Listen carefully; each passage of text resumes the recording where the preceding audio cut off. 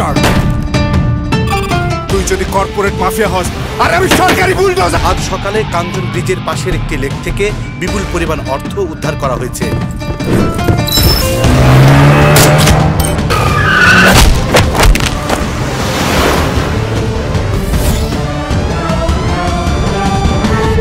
সময়টাই লাখ।